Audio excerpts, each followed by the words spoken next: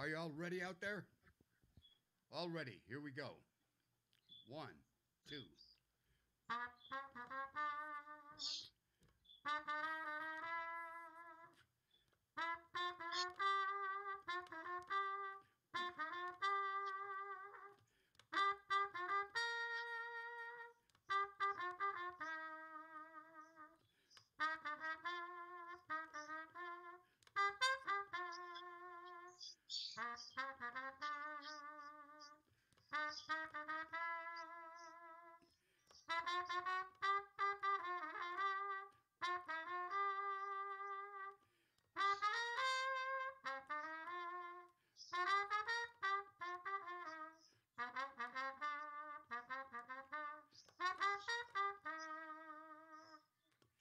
Good morning, everybody. Now, that song I just played is called It Had to Be You. And I'll give you some data on that. Um, that was written in 1924 by Isham Jones and the lyrics by Gus Kahn. It's a great song. It's still being played today. As a matter of fact, I would play it probably every second gig or so. And um, it's considered to be a standard. So there's your cultural enrichment for the morning. Um, there you go. And here you are. You tune into this show to hear an interview, and the host comes on and plays a great song on a, a trumpet. Well, actually, it's a cornet, but if I say cornet, a lot of people don't relate to that, so I just say trumpet. Anyway, this is Life After Scientology, and I'm Ron Miscavige, and I welcome you to this show. Now, before we get started with the interview, I have a little business to do, and I want to acknowledge some people who have become patrons, and it's very much appreciated. Uh, as you all know, we don't have a sponsor, so this helps with the ongoingness of this show. So please acknowledge Ralph and Catherine for five dollars. Thank you very much. And then Amy Sharon, two dollars. Thank you very much, Amy.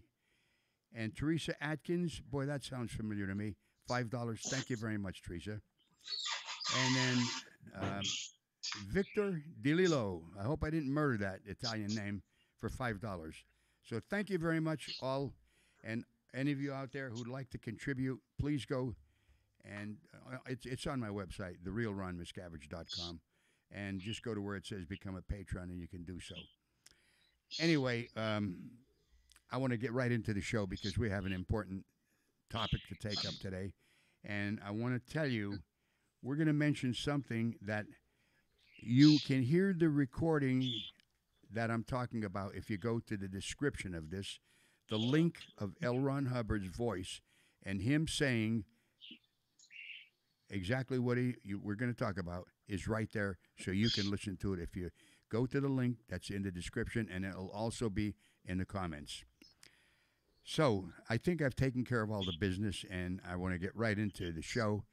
And of course, we have my dear friend Karen de la Carriere back, and she's a, a wealth of uh, great information, and she has great insight into this because she spent over 40 years in the cult, getting trained up to be one of the top uh, auditors, uh, top case supervisors.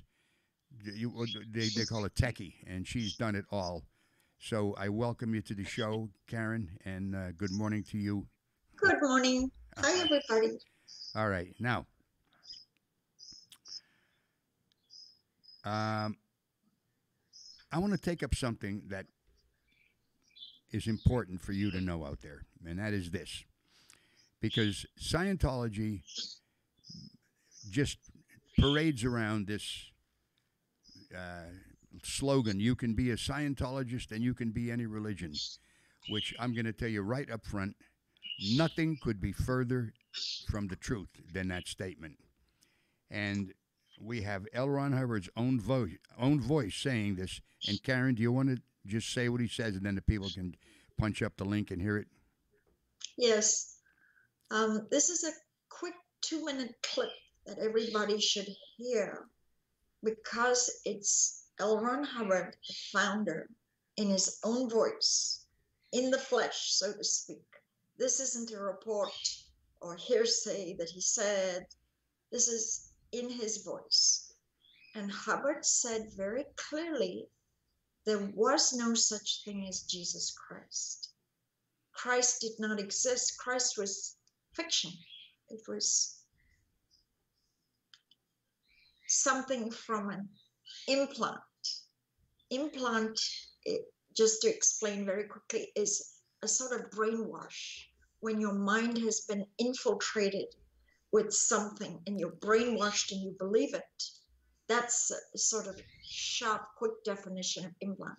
So basically, Hubbard said that Jesus Christ and all belief in him was just some brainwashing technique from long ago, that Jesus did not ever exist. And Hubbard explains this very clearly in this two minute clip in the description. And what Ron was just telling you is the lie. Cult of Scientology just lies, lies, lies, lies.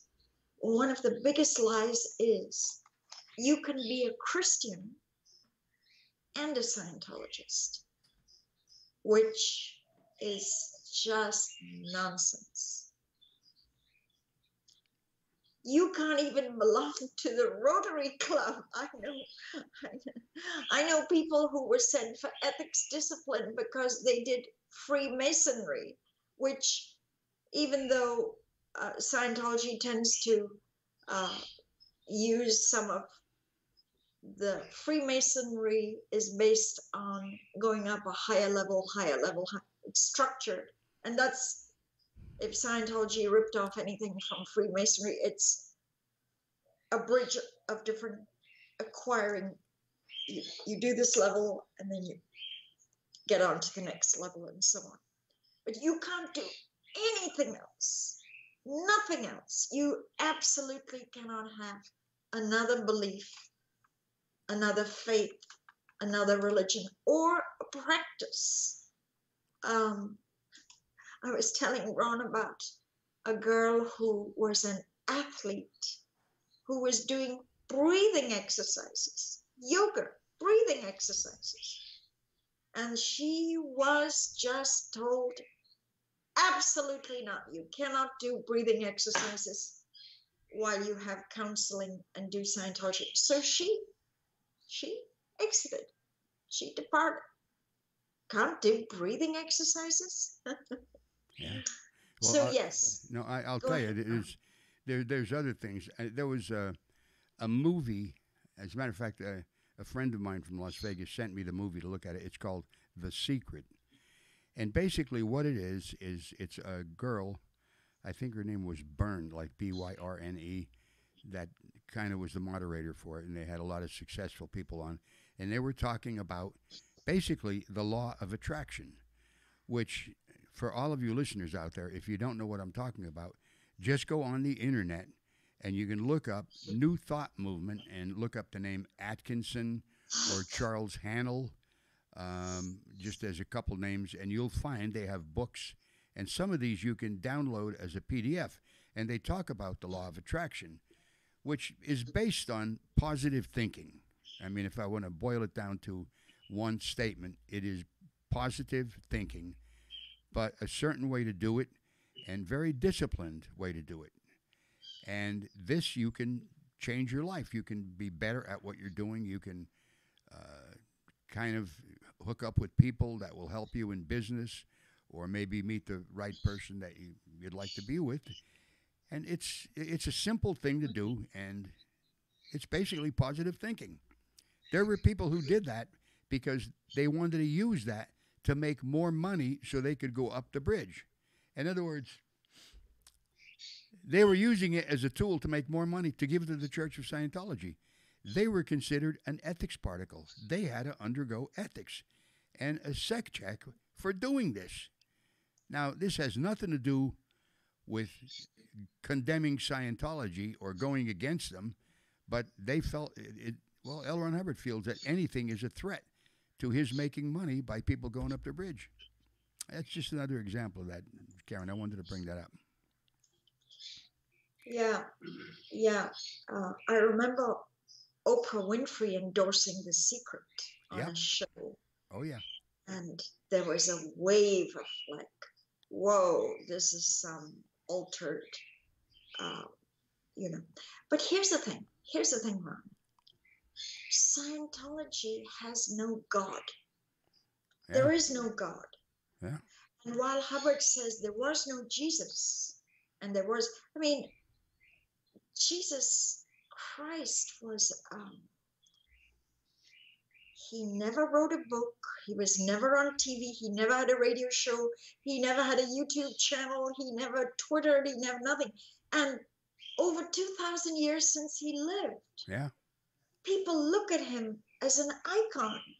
He had kindness, he had love, he had brotherhood. He was, he was, he's remembered 2,000 years later I without know. ever having done anything. I know. And no matter what you think as to whether your belief in him that he was the son of God or whatever, his word is still going around and Right, helping people. right. I mean, compassion was the biggest thing as far as I can see.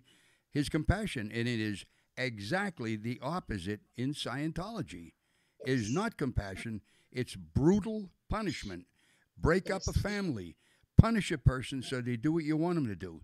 Anyway, t- take that further because uh, people tune in and listen to you. They hear me all the time, and uh, you know I like listening to you too. Yeah, you know, that there's a complete absence of compassion and kindness. The kind of words you associate with a religion or a church is a benign quality of fellowship and love. And Scientology traditionally, in their culture, absolutely poo poo such sentiments yeah, it's military, militaristic courts of ethics, committee of evidence. It's domination. Yeah. Now, uh, what I but but I what I wanted to get back to was how Scientology very much hide the fact that there is no God right. when anyone walks in the door and asks, well, it's a church, is there, you know, is there a higher being that we pray to or we communicate to? Yeah. Scientology very much does a bait and switch. And it says, shh, those, things are answered when you go higher up the Yep. levels Yep. they call it the eighth dynamic and it's secret we don't discuss god right now your lower level Yeah. when you get there you will understand i want to tell you that that's a lie Hmm. as ron said i've done everything on every level to the top upside down and inside there isn't a course in scientology that i have not done there is no God in Scientology, and there is no Almighty Creator revealed just because you do everything to the top. That's nonsense. What Scientology wants you to realize is that you, you are God. You are the Creator. Yep. And of course, when somebody walks in the door, if Scientology was honest and not doing a bait and switch, they would say, "You know, we're not a re- we're not a church that believes in God. We believe that you you are really part of God and a co-creator with God." People, some people would just walk out the door and say, "This is this is just rubbish. This is nonsense." But Scientology hide that. The point I'm trying to make here is how much Scientology hides the fact. Now, Hubbard said there was no Christ, and you can listen to this clip in the introduction to this show. Yeah. In the description. So, course, only two minutes, but Yeah. please listen to it. But while Hubbard says there is no God, there was no God, he then doesn't replace it with anything godlike or spiritual. The only spirituality in Scientology is exorcism. Scientology believes you are a composite of one to four million attached spirits that hang around you, that are attached to your body or attached to you. And the tens of thousands of dollars they extort from you and gouge out of you, ultimately, from the level called OT3 to OT8, is to jettison these attached spirits. So it's a kind of voodoo church, if anything. I don't know if you experienced or seen exorcisms on TV. Well, wasn't was, was Rosemary's Baby an exorcism? I don't remember that now. Remember that old movie? Yeah, yeah. The most famous movie was called The Exorcist. That's right. Yeah, you're right. that was kind of that was a scary movie. And Yeah. there have been lots of other movies. Now Scientology has it down to nothing like this drama of screaming and yelling for the demon to leave. It's a very, very practical way that you talk to the spirit and you ask what what what what is he being, what is he doing, you know, right. and who who is he, you know, and it's very polished, very fast, and uh, I, I don't want to get into that too much because I want to do that later on in the show or maybe in the following show, Karen. Okay. But uh, just if we could we could let it there because uh, toward the end of this, if time permits, and I don't know if it will today, because I still want to follow this up very thoroughly because it's an important point. But then we will get into uh, the area of Scientology called OT3. And we will get into detail on it because it's worth hearing Yes. and you can hear well one of the things is my from an analytical practical point of view how could this have happened the way it's described i, I want to get into that on my end here and i'm sure you're going to get into it on yours but let's continue on as a matter of fact I, i'll tell you what to follow up with what you're just saying there was a guy was it ray casano he's an ot8 and he says, I am a Scientologist and I'm also a Christian. And I think Juliette Lewis also said it, didn't she? Oh yeah, there's different celebrity stars that say I'm a Christian and a Scientologist. This is all PR puff nonsense. That Ray guy you're talking about, he was he's Mark Bunker, a wonderful guy in Clearwater, is running for city council, Right. and they had a, the downtown development board recently had a meeting, and that's where Ray Casano said, "I'm a Scientologist and I'm also a Christian." This is a blatant lie. I, I, tell you, the, the, the way they can do it is just, it blows me away. I mean, with a straight face, you know, a nice suit on and well groomed and everything. Of course, I'm a Scientologist now, a, a Christian too. What, what, what do you even doubt me? And they're fucking liars completely and utterly. But it's not, that's not the only thing they lie about. You could take the international executives who have been pounded into pulps with the treatment they've had, and they will swear to God they've never seen any abuse. They would go and perjure themselves rather than come out with the truth on this. That's how much they're in. Uh, well, they're lost. They're, they're no longer people. They're just kind of particles. Anyway, go on, Karen. you know, it's getting old. Scientology's denials. They deny, deny, deny, deny. It was wonderful to have the third lawsuit emerge this week, big lawsuit. And so far, Scientology just denies no, no, it didn't happen, it didn't happen, it didn't happen. So I don't know how Scientology can deny that Hubbard said No. there was no Jesus, there was no Christ, and it was just brainwashing. That if anyone accepts it, they have been implanted or brainwashed into believing it. Yeah. So, so, so this this is a, a, a this is not going to be a one-hour show like we've is going to be a shorter show, but we wanted to explain, and I might be saving people half a million dollars because once you get trapped into this belief, the fixed idea, Yeah. Scientology will handle my baggage. Scientology will have the answers to my case. When you get that fixed idea, you beg, borrow, steal Yeah. money to do these levels.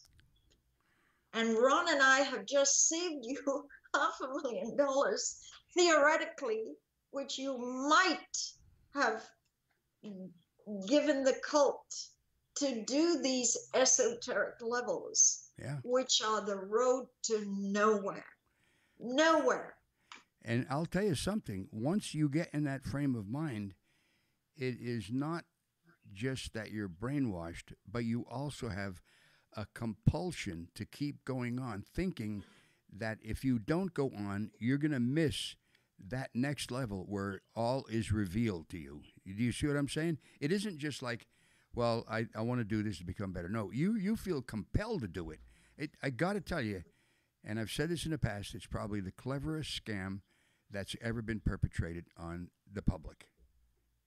The Scientology story, okay? And these people who get to that frame of mind where they're convinced everything that L. Ron Hubbard is saying is biblical truth, and he's actually one step down from being a supreme being, if not considered to be a supreme being by some people. Once you get in that frame of mind, yeah, you feel compelled to go up the bridge. And the Regs will absolutely do anything.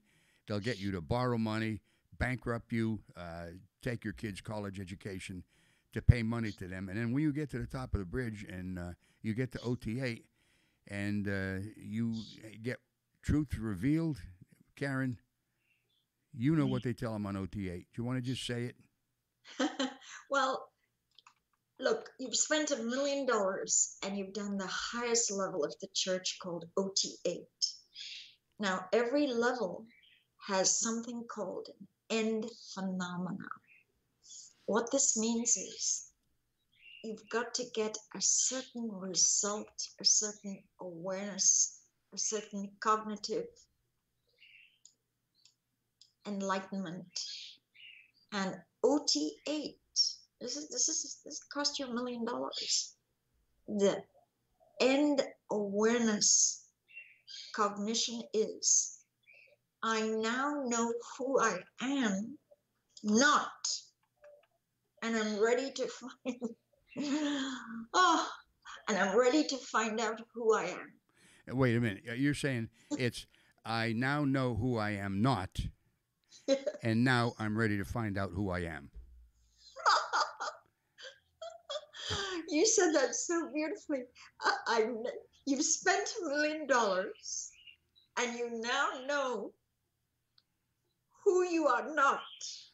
Boy, that's a relief, and it only cost me a million. Gee, I'm really happy now. I'm now ready to move forward to find out who I really am. Well, we did Does say. that sound provocative and interesting? Well, I'll tell you something. We saved a lot of people a lot of money. I mean, geez,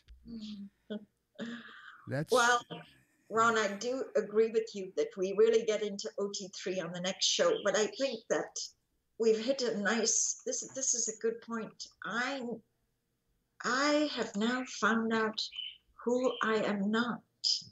Imagine that it cost you years of your life and all that investment to find out who you are not. and But now you're ready to move forward, to have Scientology reveal to you who you really are. well, I'll tell you, that's uh, that's just saving a lot of people a lot of money. If you ever felt compelled, and I mean compelled to do it, those of you who aren't Scientologists realize that people in that cult can get into a frame of mind that they will pursue that the way a cat will pursue a mouse. And if you've ever seen a cat and he senses there's a, a, a mice a mouse around, he doesn't give up until he gets that mouse, and he's after it all the time. And this is the frame of mind you get into, thinking that when you get to that level, you're going to be this superhuman, super spiritual being, and it turns out not to be true. And I'm being very gracious when I put it in those words. So I do agree. I think we should get into OT3 on the next show, and uh, I. I'd like to end it right now and, and let people Yes. ponder what we just did, what what we just revealed to you, and uh, Karen, I got to tell you, uh, I'm really glad you you're part of this. I thank you very much for coming on the show. My pleasure. And uh, all of you out there, if you'd care to contribute to this, you could become patrons and, uh, you know, subscribe if you haven't subscribed to the show and get other people to do the same. And listen to that clip uh, in the description, and it's also in the comments. So, for now, I am Ron Miscavige. This is uh, Life After Scientology. My guest has been Karen de la Carriere, and I thank you very much. And from Bye bye, everybody. Bye bye. From me to all of you out there, I will see you on the next show. Bye bye now.